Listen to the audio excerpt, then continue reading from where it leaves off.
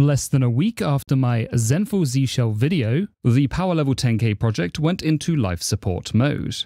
I really hope that's a coincidence. The prompt will still work with Z Shell for the foreseeable future. However, the project will only receive very limited support, and for some people that might be an issue. Either way, I thought it would be a good opportunity to take a look at a couple of other prompts, in order to see if I could recreate the minimalism of Power Level 10k. A couple of the comments on my Z Shell video gave some good arguments as to why I should reconsider my opinion on Starship. So, as the open minded individual that I am, I decided to give it a go and installed it on my system. However, during the configuration, I realized it missed a key feature from Power Level 10K the transient prompt. This feature is where the full prompt will only display on the current command. For any historical actions, the prompt is displayed in a much more condensed version. Personally, I find this feature helps to draw my eye to the current prompt, helping me to remain focused. Starship does actually have a transient prompt feature, but it's only available for Windows shells, weirdly enough, and Fish. For Fish, it works pretty well, but I'm not 100% comfortable making the change to a non-POSIX shell. Not just yet, anyway. Therefore, without a transient prompt on Z Shell, Starship was out of the picture, and my search continued. Fortunately, that search wasn't in vain, and I discovered another project that supported the transient prompt. Oh my posh, which is yet another prompt for any shell, kinda like Starship. However, as well as supporting a transient prompt on Z Shell, it also supports a lot of themes, such as Pure, Tokyo Night, and even a few based on Power Level 10k. All of this suggests that Oh My Posh might just be a viable replacement for my Zenful prompt. Let's take a look and see if this is the case. First things first, we need to get Oh My Posh installed on our system. As I'm using Arch, by the way, I'll install it using Yay. Once it's installed, we then need to enable it for our shell by heading over to the .zshellrc. For me, I'm going to replace where I source the .p10k file with the following line to initialize Oh My Posh. Make sure to do the same for your own configuration with whichever prompt you may be using. I'm also going to remove any other references to Power Level 10K in my configuration. Additionally, if you're using macOS, the documentation recommends to add in the following line, which will prevent Oh My Posh running on the default terminal.app, which is unsupported. Once you've configured your Z shell correctly, you can open up another terminal window and look at the default theme. Not bad, but not exactly my cup of tea. There's just a little bit too much information for me to achieve a Zenful experience. Fortunately, it's rather simple to configure Oh My Posh to make it more minimal. Let's go ahead and do so by modifying the configuration. But uh, where does the configuration live? Well, OMP, as I'm now going to call it, does configuration just a little bit differently. Rather than having a single dedicated config file like other applications, by default, OMP makes use of an embedded one. In order to use a different configuration, we have to pass it in when we initialize the application, inside of our Z Shell RC. Whilst this approach is different from other applications, it does provide some benefits in that you're able to easily swap configurations if you ever desire. To create our own configuration, let's begin by exporting the default one into its own file. To do so, first I'm going to create a .config slash omp directory to store this configuration file in. Then we can export the default configuration using the following command. Now let's open up this file and take a look. Oh, yeah. By default, OMP exports as JSON, which is not exactly my favorite configuration format to work with. Instead, I prefer to use something such as YAML or, even better, TOML.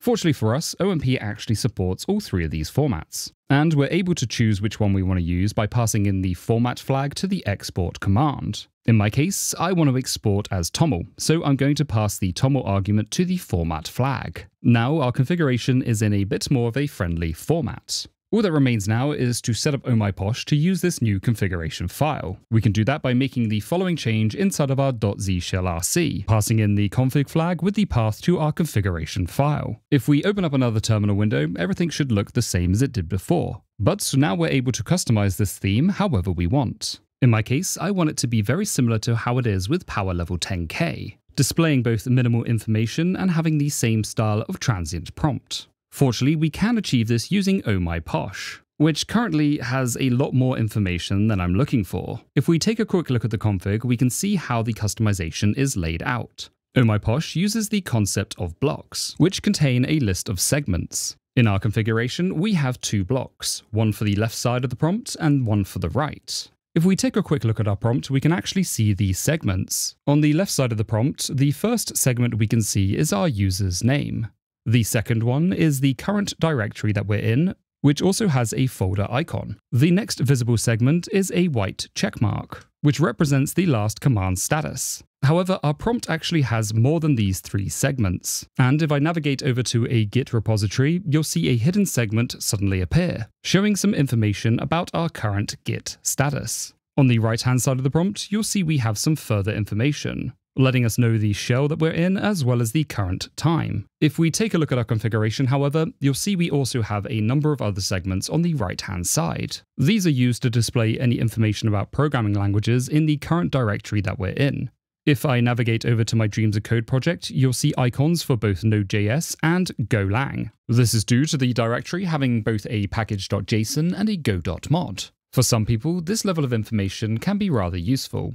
However, in my case, I much prefer a more minimal experience. To achieve that, however, we need to modify the configuration. First things first, let's remove all of the block segments from both the left and right prompt. If I do this one by one, you can see these segments being removed from the prompt in real time. After that, go ahead and remove everything else from underneath our first block. Don't worry, we'll add some of this back in later, but we want to make sure we start with a clean slate. Once you're complete, your configuration should look pretty similar to mine, nice and lean. If we open up a new terminal window to test our prompt, it will pretty much look empty. With that, we have a nice blank canvas. Let's begin making this look like Power Level 10K, with the first thing we're going to replicate being Power Level 10K's path display. In order to achieve this, we can use the path segment of Oh My Posh which has some pretty nice documentation showing us how we can use it.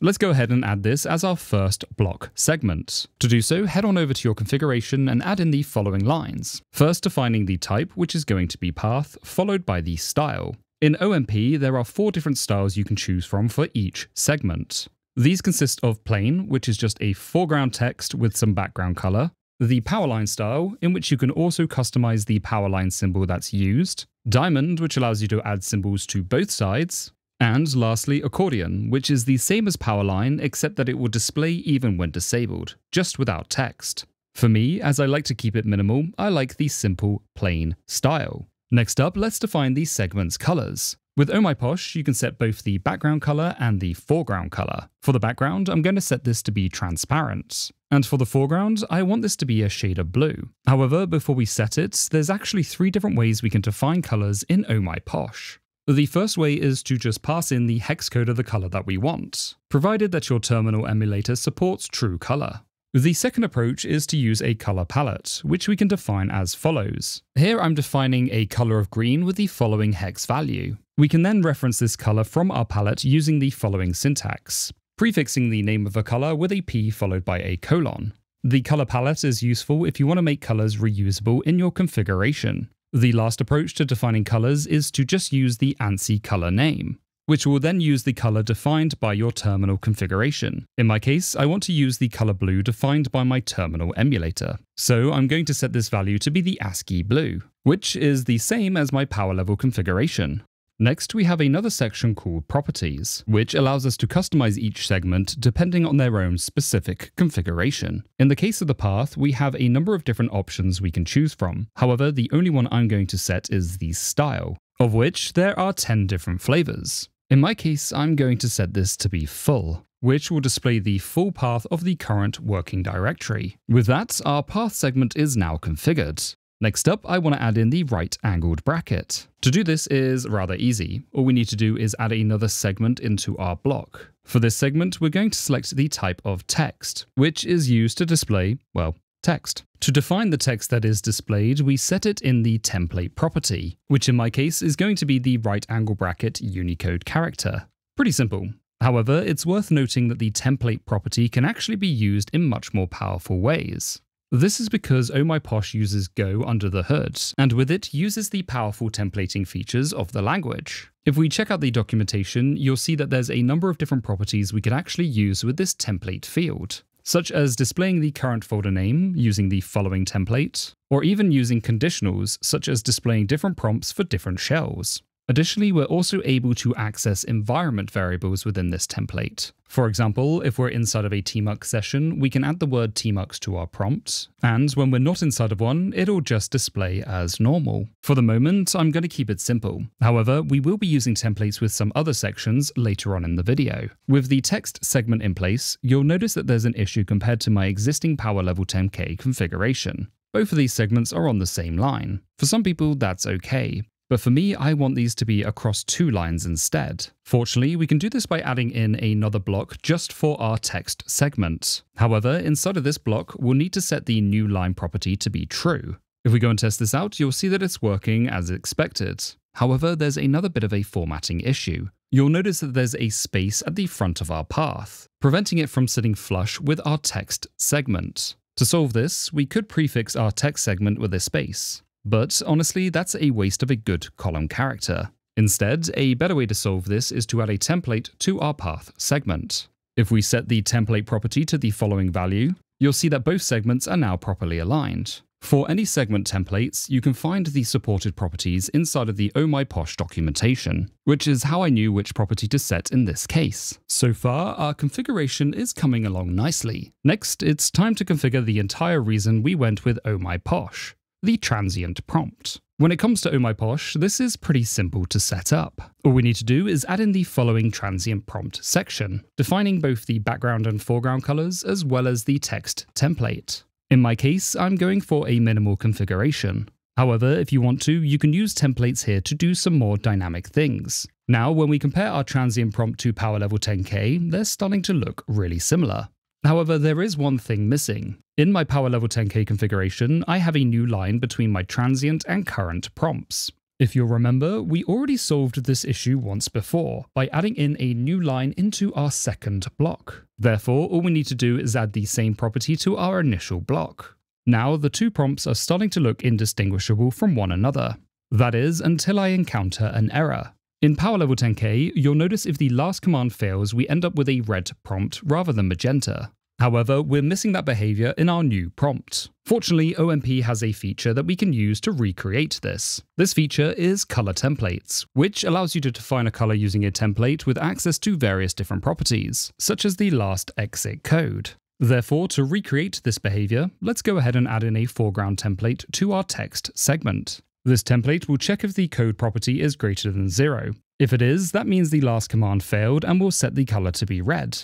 Next, we'll add another foreground template, which will check if the code is equal to 0. In that case, we'll set it to be magenta. Now our prompt should be the correct color when the status code fails. However, we also need to apply this color template to our transient prompt as well. Now, if we test this behavior, our prompt is acting just like it would if it was power level 10k, which is on the left, just for reference. With the basic prompt properties now configured, the next thing to set up is our Git status. If we navigate to a Git repository in Power Level 10k, you can see that it displays some minimal information about Git on the prompt. This segment shows either the current branch name or the current commit if you're in a detached state, an asterisk for any staged or working changes, and down or up arrows if your local repository is behind or ahead of your remote, respectively. OMP has a Git segment which we can use to replicate this information. In fact, you can actually configure this to do a lot more. However, again, I want to make sure I recreate the power level 10k status. In your own case, you may want to check out which properties are available. To begin, let's go ahead and add in the Git segment into our first block. When we get to our text template, let's first add in the head property. If we take a peek at the head property, however, you'll notice it also comes with a branch icon. We can fortunately disable it by setting the branch icon property to be empty, which is a lot more minimal, in my opinion. Next up, let's add in the asterisk indicator that will appear if we have any working or staged changes. We can perform this by adding an if-or conditional based on the .working.changed or .staging.changed. In order for this to work, we also need to set the fetch status property to be true. If we check the prompt, we can see this asterisk appears for both stage changes and unstaged changes as well. The next thing to add is the down and up arrows. Because these arrows can appear at the same time, we need to add a check-in for each one. Let's add in our down arrow first, which will appear if our local repository is behind our remote. We can do this by checking if the value of behind is greater than zero. If we check out our prompts, we can see that this is working correctly. However, we have a slight difference compared to power level 10k, the color.